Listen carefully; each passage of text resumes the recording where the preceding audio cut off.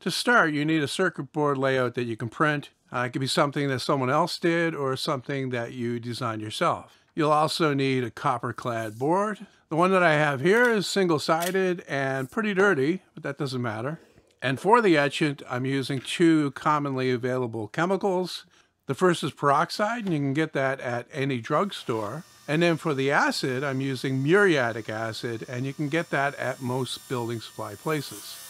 Next step is to cut the copper clad board down to the correct size. And I've got the board set on a piece of MDF so that it won't slide underneath the sled as I'm pushing it through. Next, I can cut out one of these things that I printed.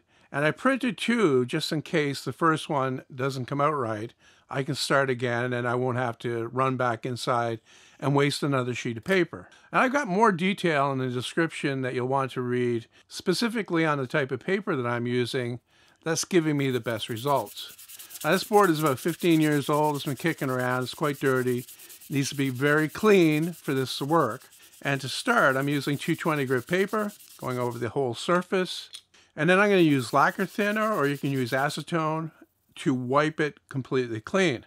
And then when it is clean, you want to handle it by the edges so that you won't contaminate that clean surface with anything that's on your fingers.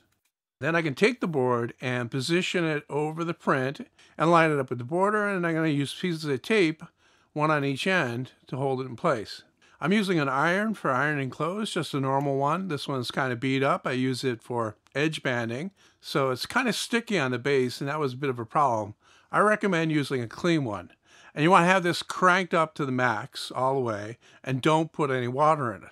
And then you really want to get this hot, and you really want to push it down. That's going to give you the best chance at making a complete transfer.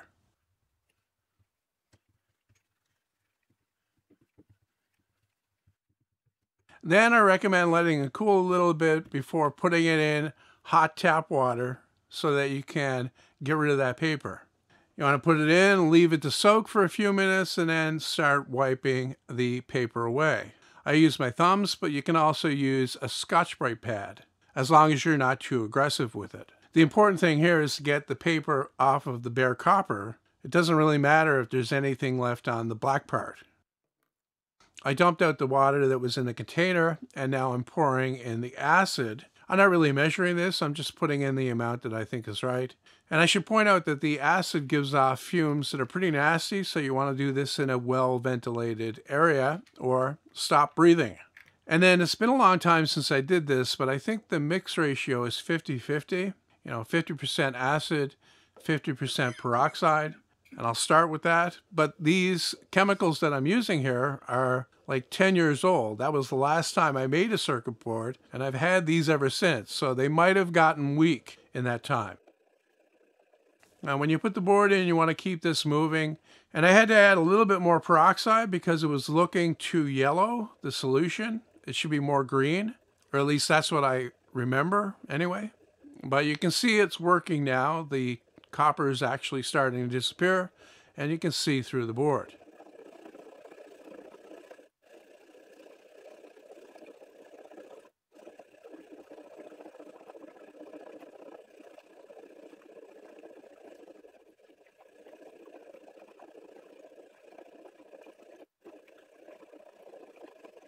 And then, like I said, you want to keep this moving until it's finished and then take it out and put it in clean water to rinse away the acid. The only thing left to do is get rid of that toner that's on the copper, and I'm using lacquer thinner again with a paper towel to wipe that off. So that's all there is to making a circuit board, and even though the traces on the one that I made here are big, you can get really good resolution with this, very fine traces if you need them.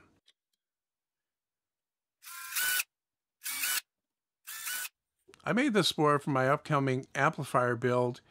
It's to hold the capacitors for the power supply along with the bridge rectifier, and that's what I'm soldering on now.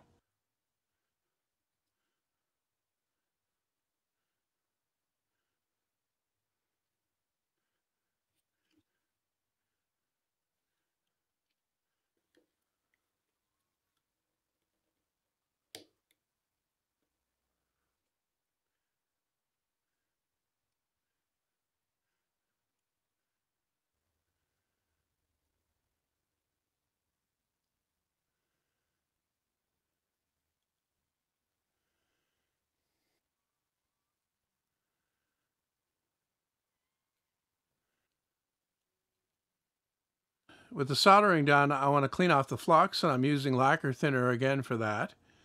And I'm doing that because I want to protect the copper. And probably the best way to do that is to tin the entire surface of the copper.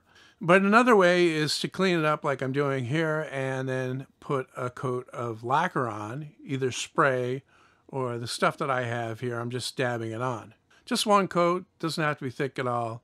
All you're looking to do is to keep the copper from corroding.